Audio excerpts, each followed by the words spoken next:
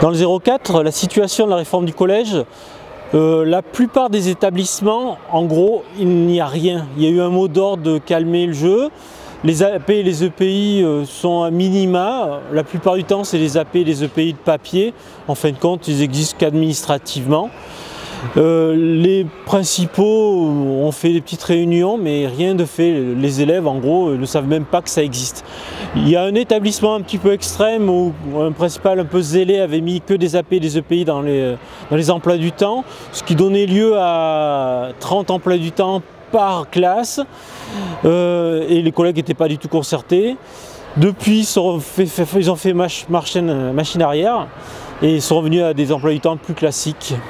Oui, le plus notable dans le 04, c'est l'an dernier, dès le, mois de mars, au moment des DGH, nous avons pris le pouvoir qui, est donné au CA de pouvoir créer, euh, de fixer le nombre de divisions dans les établissements.